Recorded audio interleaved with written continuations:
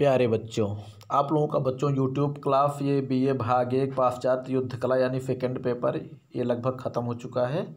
चलिए, आज आप लोगों को हम कुछ प्रश्नों का अभ्यास आपसे हम करा देते हैं। ठीक है?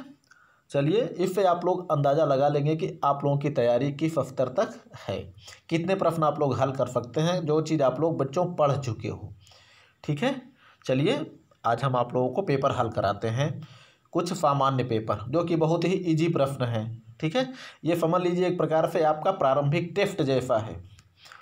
चलिए। बच्चों, इसमें जो भी प्रश्न है, सभी प्रश्न आपका सेकेंड पेपर का ही है। देखिए, फ्लैंक्स एक सैन्य संगठन था। थोड़ा सा लिखावट इसकी बहुत अच्छी नहीं है। टाइप क्या आप थोड़ा सा कैमरे में कुछ, कैमरे में क्या, मान के चलिए, थोड़ा सा जो भी है, फ़िलहाल समझ में आ रहा है। फ्लैंक्स फ्लैंक्स एक सैन्य संगठन था। अब आप लोग बताइए कहाँ का था? पहला नंबर है रोम, ठीक है? रोम, यूनान, भारत, स्वीडन। सीधी सी बात, हमने आपको पढ़ाया है फ्लैंक्स संगठन कहाँ का था? यूनान का, ठीक है? सिकंदर का सैन्य संगठन। अब देखिए दूसरा प्रश्न है, रोम के सैन्य संगठन को क्या कहा जाता था? तो आप लोग जानते हैं रोम का सैन्य संगठन क्या था? रोमन लीजन, यानी रोम के सैन्य संगठन को बच्चों लीजन कहा जाता था, ठीक है? फ़ाइल क्या होती थी? फ़ाइल फ्लैंक्स की सबसे छोटी इकाई होती थी यूनानी सेना की। फ्लैंक्स, ये यूनानी सेना का संगठन था। अछौहड़ी क्या है? ये महाभारत की सैन्य इकाई है, सबसे बड़ी सैन्य इकाई महाभारत की महाकाव्य काल की है। अछौहड़ी ठीक है बच्चों? चलिए अगले प्रश्न पे हम लोग ध्यान देते हैं। फ्लैंक्स के कौन से सैनिक युद्ध करते थे? बच्चों, आपको हमने समझाया था कि फ्लैंक्स में, यूनानी फ्लैंक्स के हर समय केवल आगे का सैनिक लड़ता था, बाकी सभी पीछे के सेना खड़ी रहती थी। ठीक है? तो इसमें कौन सा विकल्प सही होगा? का विकल्प। ठीक है? चलिए, आगे बढ़ते हैं हम लोग। बच्चों फ्लैग्स को फ्लैग्स को किस आकार में खड़ा किया जाता था? हमने आपको बताया था आयताकार में। ठीक है? फ्लैंक्स जब खड़ी होती है तो उसका आकार आयत के आकार का होता था। और अगला नंबर है, लीजन में कुल कितने पैदल सैनिक होते थे? बच्चों, लीजन में कुल कितने पैदल सैनिक होते थे? बयालीस सौ। खा विकल्प सही है, ठीक है? बयालीस सैनिक होते थे। कितने पैदल सैनिक और कितने घुड़सवार होते थे? तीन सौ। तीन सौ घुड़सवार और बयालीस सौ पैदल सैनिक रोमन लीजन में होते थे। चलिए और रोमन लीजन में सबसे कम आयु के सैनिकों को क्या कहा जाता था? बच्चों, रोमन लीजन में सबसे कम आयु के सैनिक जो सबसे आगे खड़े होते थे, उन्हें क्या कहा जाता था? वेलाइट्स। का विकल्प इसमें सही है। वेलाइट्स कहा जाता था, ठीक है? प्रथम पंक्ति के सैनिक होते थे बेलाइट्स कहा जाता था। दूसरी पंक्ति के हफ्ताती होते थे। तीसरी पंक्ति के प्रिंसपाइज होते थे, चौथी पंक्ति के ट्रायरी होते थे। सबसे कम आयु के बेलाइट्स उनसे ज़्यादा हफ्ताती उनसे ज़्यादा प्रिंसपाइज और सबसे ज़्यादा ट्रायरी। ठीक है बच्चों, चलिए। अगला प्रश्न है, युद्ध के समय रोमन लीजन के सैनिकों के बीच की दूरी कितनी होती थी? रोमन लीजन के बीच की दूरी, बच्चों, ये थोड़ा सा टाइप में मिसप्रिंट हो गया है। यहाँ है रोमन लीजन के सैनिकों के बीच की दूरी। बच्चों, वो होती थी पाँच फीट। ठीक है? चलिए। यूनानी फ़ैन रचना में सबसे पीछे लगाया जाता था। सबसे पीछे किसे लगाया जाता था बच्चों? युद्ध यंत्र को। ठीक है? घा विकल्प सही है, थोड़ा सा बिग मिस प्रिंट हुआ है ये टाइप में। यो है बच्चों, युद्ध यंत्र। कौन से युद्ध यंत्र थे यूनानी सेना में? कैटापुल्फ और बलिफ्ता। ठीक है? अगला प्रश्न है, सर्वप्रथम कवच का प्रयोग किन सेनाओं ने किया? सर्वप्रथम कवच का प्रयोग किन सेनाओं ने किया? ठीक है? क्या किसने किया? तो सबसे पहले कवच का प्रयोग यूनानी सेनाओं ने किया था। ठीक है बच्चों? चलिए, आगे बढ़ते हैं। लीजन की आरक्षित सेना को क्या कहा जाता था? आरक्षित सेना वही होती थी जो लीजन में सबसे ज़्यादा उम्र की सेना होती थी, सबसे पीछे जिसको लगाया जाता था। कौन होते थे? वो होते थे बच्चों, आरक्षित सेना, उन्हें कहा जाता था ट्रायरी। ठीक है? चलिए, अगला प्रश्न है, लीजन की सबसे छोटी इकाई क्या होती थी? बच्चों, रोमन लीजन की सबसे छोटी इकाई क्या होती थी? मैनिपल, ठीक है? मैनिपल सबसे छोटी इकाई होती थी। अब इसमें जैसे फ़ाइल कहाँ की इकाई होती थी? फ़ाइल यूनानी फ्लैंक्स की इकाई होती थी। पत्ती कहाँ की छोटी इकाई होती थी? पत्ती महाकाव्य काल की छोटी इकाई होती थी, ठीक है? महाकाव्य काल की छोटी इकाई होती थी और वैदिक काल की एक इकाई होती थी। कोहार्ट, ये लीजन की दूसरी बड़ी इकाई होती थी। ठीक है बच्चों, मैनिपल से बड़ी इकाई कोहार्ट होती है। सबसे छोटी इकाई पूछा गया है तो वो मैनिपल होगी। ठीक है? चलिए। बासठ नंबर, फ्लैंक्स के सैनिकों का मुख्य हथियार क्या होता था? तो बच्चों, फ्लैंक्स के सैनिकों का मुख्य हथियार होता था फरीफा। ये फरिया लिखा हुआ है, लेकिन ये मिसप्रिंट हुआ है इसको होना चाहिए फरीफा। ठीक? वही फरीफा जो इक्कीस फीट लंबा होता था भाला। चलिए। उत्तर का फेर कहा जाता है? उत्तर के फेर किसे कहा जाता है बच्चों? गुफ्ताव फेडोल्फस को। ठीक है? नेपोलियन को युद्ध का देवता। सिकंदर कहाँ का था? यूनान का। ठीक है? उत्तर का फेर कहा जाता था? गुफ्तावफ एडोल्फस को। ठीक है? चलिए, आगे बढ़ते हैं हम लोग। बच्चों, अगला है, युद्ध का देवता किस सेना नायक को कहा जाता था? इसमें विकल्प ही न छपा है, लेकिन फिर भी आप लोग जान लीजिए, युद्ध का देवता किसे कहा जाता है? नेपोलियन को। ठीक है? चलिए।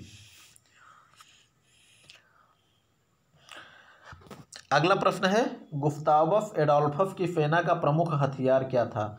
तो बच्चों, प्रमुख हथियार गुफ्तावफ एडोल्फस की फेना का था मस्केट बच्चों ने थोड़ा सा साफ़ कम दिख रहा है, लेकिन हम मुँह पे बता रहे हैं आपको। अगला नंबर है, रणक्षेत्रीय तोपखाने का जनक कौन था?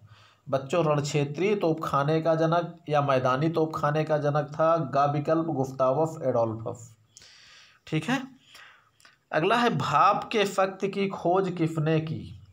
बच्चों, भाप के शक्ति की खोज किसने की थी? जेम फोआर्ट ने, ठीक है? देख लीजिए खा विकल्प सही है, जेम फोआर्ट ने रेलवे इंजन का निर्माण किया था। अब इसमें देख लीजिए, रेलवे, जेम फोआर्ट ने क्या किया था? रेलवे इंजन का निर्माण, नेपोलियन कौन था? फ्रांस का था, यूनानी युद्ध का देवता कहा जाता था। डनलप ने क्या खोजा था बच्चों? टायर, ठीक है? टायरों की खोज किसने की थी? डनलप ने।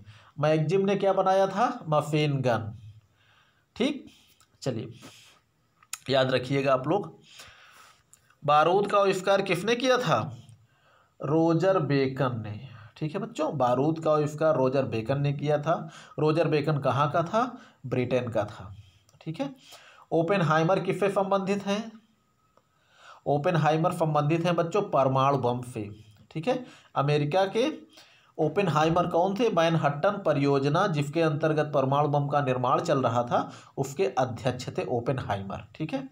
जेम्स वाट, ब्रिटेन का था, जिसने, क्या बोलते हैं, भाप की शक्ति की खोज की, भाप का इंजन बनाया था, हरग्रीफ, ठीक है? हरग्रीफ ने क्या बनाया था? स्पिनिंग जेनी, ठीक है? चलिए। अगला प्रश्न है बच्चों, समग्र सशस्त्र राष्ट्र सिद्धांत का जन्मदाता। समग्र सशस्त्र राष्ट्र सिद्धांत, कौन सा वो जो है सेना नायक है जिसने संपूर्ण राष्ट्र को सेना में बदल दिया था? बच्चों, वो है नेपोलियन। का विकल्प सही है? ठीक है, चलिए। आर्मामेंट एंड हिस्ट्री पुस्तक के लेखक। आर्मामेंट एंड हिस्ट्री पुस्तक के लेखक है बच्चों, जनरल फुलर। का विकल्प सही है। ठीक है? आर्मामेंट एंड हिस्ट्री में ही इन्होंने युगों के रूप में वर्णन किया था। ऐतिहासिक कालक्रम विभाजन, ठीक है? चलिए। क्लाजबिट्स की पुस्तक का क्या नाम है? आनवार। लिटिल हार्ट किससे संबंधित हैं? टैंकों की युद्ध कला से, या यंत्रीकृत युद्ध कला ठीक है? नेपोल, नेपोलियन, फ्रांस का है युद्ध का देवता। इकहत्तर नंबर नेपोलियन किस देश का निवासी था। बच्चों, नेपोलियन कहाँ का था? फ्रांस का था। गा विकल्प सही है। हवाई जहाज़ का निर्माण किसने किया? बच्चों, हवाई जहाज़ का निर्माण किया था राइट बंधुओं ने, ठीक है? दो भाई थे राइट बंधु। बंधु का मतलब ही होता है भाई। दो भाई थे जिनका नाम था अरबिल राइट, बिल्वर राइट, ठीक है बच्चों? याद रखिएगा। अरबिल राइट और बिल्वर राइट। ये दोनों भाई थे। इन्होंने मिलकर हवाई जहाज़ या विमान का निर्माण किया था उन्नीस सौ तीन ईस्वी में। ठीक कहाँ के थे ये दोनों? अमेरिका के थे। ठीक है? चलिए। जेम फोवार्ट ने क्या बनाया था? जेम वाट ने क्या बनाया था? Engine? Otto? A N Otto ने क्या बनाया था? Petrol engine. ठीक है? Petrol engine A N Otto ने बनाया था। ऑटो हान ने क्या बनाया था? परमाणु बम। ध्यान रखिए बच्चों। द्वितीय विश्व युद्ध में किस राष्ट्र पर परमाणु बम का प्रयोग किया गया? सब लोग जानते हैं, द्वितीय राष्ट्र में किस राष्ट्र पर परमाणु बम का प्रयोग किया गया था? बच्चों, द्वितीय विश्व युद्ध में इसमें देखिए विकल्प जो है गलत है। इटली इटली दो बार है। आप सब लोग समझ लीजिए कि द्वितीय विश्व युद्ध में जो परमाणु बम का प्रयोग किया गया था, वो किया गया था बच्चों जापान पर। ठीक है? याद रखिएगा, जापान पर परमाणु बम का प्रयोग किया गया था। ठीक है? जापान के भी वो भी दो प्रमुख नगरों, हिरोशिमा और नागासाकी पे। चलिए, अगला प्रश्न है, सर्वप्रथम टैंक के आविष्कार का विचार किस राजनेता के मस्तिष्क की उपज थी? टैंक का विचार किसके दिमाग में सबसे पहले आया। बच्चों वे थे, गा विकल्प सही है, विफ्टन चर्चिल। ये ब्रिटेन के प्रधानमंत्री थे। सबसे पहले टैंकों के बारे में इन्होंने ही सोचा था कि सामरिक गतिरोध को किस प्रकार दूर किया जाए तो इनके दिमाग में आया कि टैंकों का प्रयोग कर सकते हैं। ठीक है? टैंकों के लिए इन्होंने ट्रैक्टर का प्रयोग किया था, बच्चों। इनको टैंकों के लिए ऐसा वाहन चाहिए था कि जो हर प्रकार की भूमि में जा सके। जैसे आप लोग जानते हैं, ट्रैक्टर ऐसा वाहन है, वो हर प्रकार की भूमि पर चल सकता है। ऊबड़ खाबड़, ऊँची नीची, खेत में पानी भरा हो तब भी वो चलता है। ठीक है? चलिए। अगला है, युद्ध को त्रिदिशात्मक बनाने में किस यंत्र की महान भूमिका है? बच्चों, युद्ध को त्रिदिशात्मक का मतलब होता है तीसरी दिशा किसने दी? भाई, जल में युद्ध हो रहा था, थल पे हो रहा था। उसके बाद जब हवा में युद्ध होने लगा तो उसमें किसकी भूमिका थी? विमान की, वायुयान की, हवाई जहाज़ की, ठीक है? इसी यंत्र की महान भूमिका है जिसने युद्ध को तीसरी दिशा दी या त्रिदिशात्मक बनाया। अगला है, रडार की खोज किस देश की देन है? बच्चों, रडार की खोज जो है जर्मनी वो ब्रिटेन की देन है, ठीक है? ब्रिटेन की देन है। ब्रिटेन द्वितीय विश्व युद्ध में तबाह हो गया होता, अगर शीघ्रता से उसने रडार की खोज नहीं ली कर ली होती। क्योंकि जर्मनी के जो वी वन, वी टू विमान हैं, वी वन, वी टू जो उड़न बम थे, ये जर्मनी, ब्रिटेन को तबाह कर देते। लेकिन ब्रिटेन ने शीघ्रता से रडार की खोज कर ली, जिसके कारण जर्मनी के इन जो है उड़न बमों की कार्य कार्य कार्य विधियों को असफल कर दिया। ठीक है? चलिए। द्वितीय विश्व युद्ध में जल फुरंगों के निर्माण में कौन सा देश आगे रहा? जल फुरंगों के निर्माण में बच्चों, द्वितीय विश्व युद्ध में जर्मनी आगे रहा, हर समय। जर्मनी नए नए जल फुरंगों का निर्माण करता था और ब्रिटेन केवल उसका जो है प्रतिकार करता था। ठीक है? अगला देखिए, द्वितीय विश्व युद्ध का कार्यकाल क्या था? बच्चों, द्वितीय विश्व युद्ध का कार्यकाल क्या था? उन्नीस सौ उनतालीस से पैंतालीस। उन्नीस सौ उनतालीस से पैंतालीस तो खा विकल्प सही है आपका। ठीक है? और आगे देखते हैं। वी वन, वी टू हथियार किस देश के युद्ध के उपकरण थे? तो वी वन, वी टू हथियार बच्चों, ये जर्मनी के उपकरण थे। का विकल्प सही है। अगला है क्रेफी के संग्राम में प्रयुक्त लंबे भाल, लंबे धनुष के युद्ध, लंबे धनुष के युद्ध उपकरण थे। बच्चों, ये थोड़ा सा गलत छप गया है। क्रेफी के संग्राम में प्रयुक्त लंबे धनुष की लंबाई कितनी होती थी? इस तरह होना चाहिए, ठीक है? ये थोड़ा सा युद्ध उपकरण है, टाइप में थोड़ा सा गलती हो गई है। तो बच्चों, लंबे धनुष की ये गलत है, इसको होना चाहिए लंबाई। लंबे धनुष की लंबाई कितनी होती थी बच्चों? छः फीट, ठीक है? वो होती थी छः फीट। सर्वप्रथम, अगला प्रश्न है। सर्वप्रथम, परमाणु परीक्षण किस देश ने किया? बच्चों, सर्वप्रथम परमाणु परीक्षण किया अमेरिका ने। ठीक है? अगला नंबर है, फाइबर युद्ध को अन्य किस नाम से जाना जाता है? बच्चों, फाइबर युद्ध को अन्य नेट युद्ध के नाम से जाना जाता है। नेट का मतलब होता है बच्चों, सूचना फाइबर युद्ध का मतलब ही होता है सूचना प्रौद्योगिकी द्वारा का युद्ध में प्रयोग। अर्थात नेट युद्ध, ज्ञान युद्ध, पाफ युद्ध कंप्यूटर युद्ध, ये सब जो है फाइबर युद्ध के ही रूप हैं। हैकर्फ युद्ध जैमर्फ युद्ध वायरफ युद्ध, ठीक है? ये सभी जो है फाइबर युद्ध के या फाइबर अटैक के नाम हैं। अगला है, गुफ्तावफ अपने फ़ैन रचना में एक फाथ कितनी पंक्ति से फायर कराता था? बच्चों, बच, गुफ्तावफ अपनी फ़ैन रचना में आपको हमने बताया भी है, एक फाथ तीन तीन लाइन पे फायर कराता था, तीन पंक्तियों से फायर कराता था।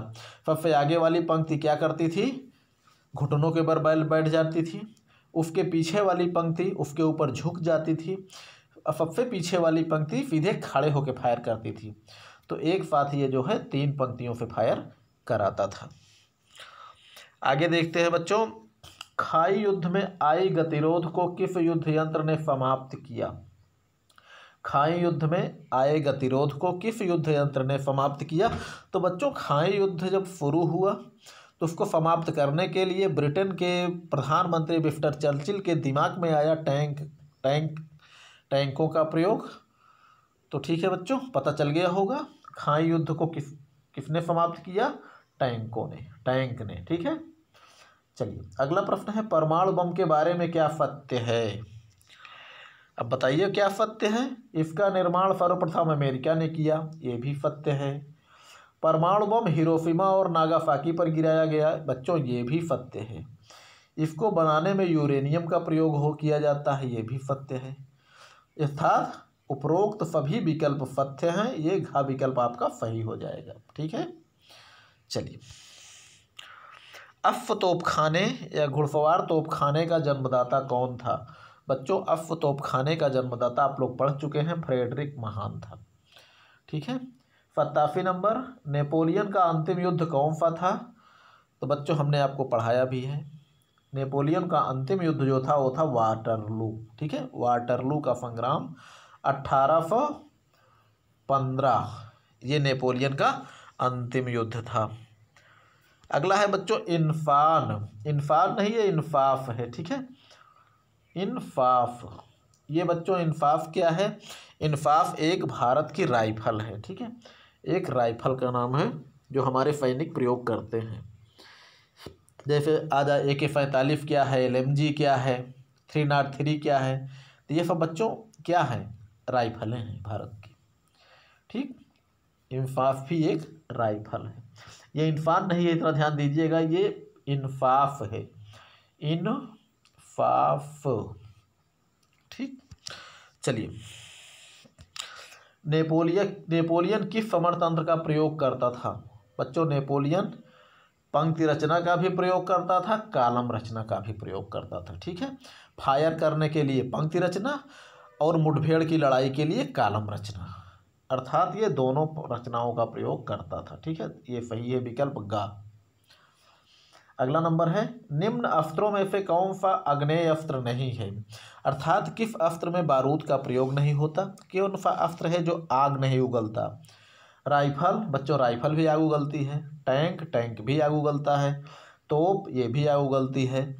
अग्नेय अस्त्र कौन सा नहीं है? बच्चों, वो भाला है। तो इसमें जो है, कौन सा विकल्प आपका सही हो जाएगा? घा विकल्प। भाला ही है जो अग्नेय अस्त्र नहीं है। आग आग नहीं उगलता ये। इक्यानवे नंबर, अगला प्रश्न है बच्चों। कौन सा अस्त्र वैदिक काल का नहीं है? वैदिक काल का मतलब वेद पुराणों के समय में। बच्चों, वैदिक काल में प्रमुख अस्त्र धनुष बाण था, तलवार भी थी, भाला भी था।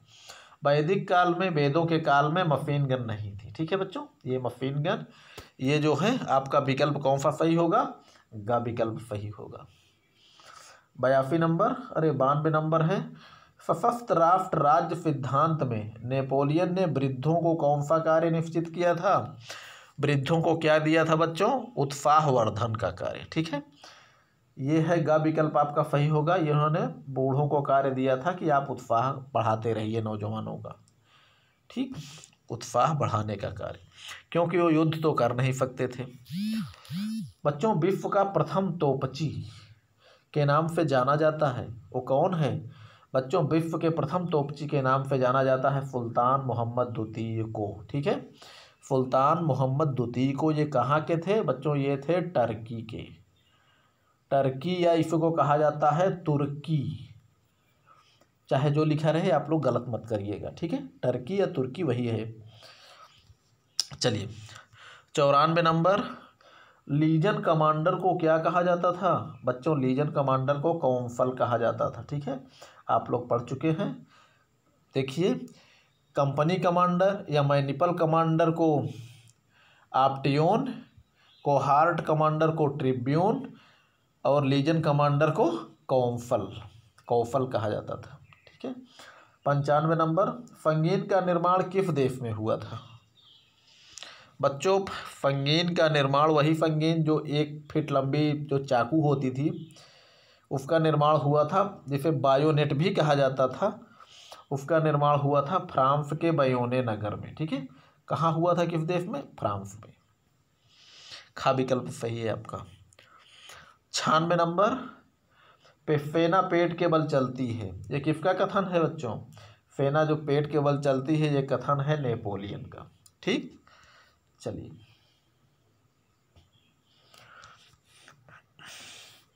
अब देखो बच्चों, इसमें आपको चुनना है। निम्न में से कौन सा आरोही क्रम व्यवस्थित है? क्रम से कौन कौन सा युग देखिए? सौर युग, बारूद युग, पराक्रम युग, भाप युग। क्या ये सही है? सौर युग, बारूद युग, पराक्रम युग, भाप युग। बच्चों, गलत है। सबसे पहला युग पराक्रम युग होना चाहिए। फिर उसके बाद सौर युग, फिर बारूद युग, फिर भाप युग। इसमें जो विकल्प सही है आपका, खा विकल्प आपका सही है। ठीक है बच्चों? पहले जो है, पराक्रम युग, फिर सौर युग, फिर बारूद युग, फिर भाप युग, ये क्रम आपका सही है। खा विकल्प सही है, बाकी सब गलत है। कौन सा युग? युग नहीं है बच्चों, ये जो है थोड़ा सा मिसप्रिंट हुआ है, ये है युग्म। युग्म सही है, नहीं है। अब देखिए, सही नहीं है कौन सा युग्म जो है, यानी सा जोड़ा सही नहीं है। फ्लैंक्स फ्लैंक्स का मुख्य हथियार फरीफा होता था, ये भी सही है। बारूद युग में मफकेट चलती थी, बंदूक चलती थी, वह यह भी सही है।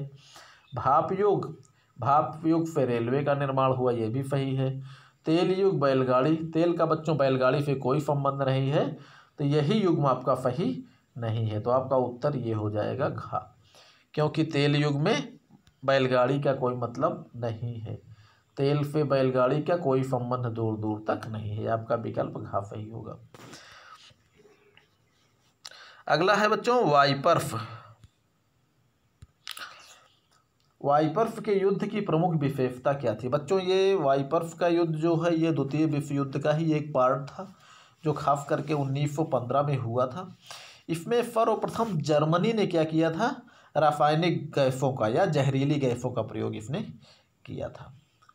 जर्मनी ने सबसे प्रथम, सबसे पहले जहरीली गैसों का प्रयोग किया था वाइपर्स के युद्ध में। ये प्रथम विश्व युद्ध का एक भाग है। तो इसमें क्या किया गया था बच्चों? इस युद्ध में सर्वप्रथम जहरीली गैसों का प्रयोग किया गया। किसने किया? जर्मनी ने। इसको भी याद रखिएगा। ठीक है? इसमें गा विकल्प आपका सही होगा। अगला प्रश्न है, अंतिम प्रश्न है, हिटलर किस देश का था? तो बच्चों, हिटलर कहाँ का था? हिटलर जर्मनी का था। ठीक है? हिटलर जर्मनी का तानाफाह था। द्वितीय विश्व युद्ध हिटलर की ही अगुवाई में लड़ा गया था। ठीक है? ठीक है बच्चों, चलिए आप लोग इसको एक बार रिपीट कर लेंगे तो आप लोगों के लिए ये आसान होगा कि आप लोग समझ लेंगे कि आप लोगों का कितना प्रश्न आप लोगों का तैयार है। ठीक है बच्चों? चलिए।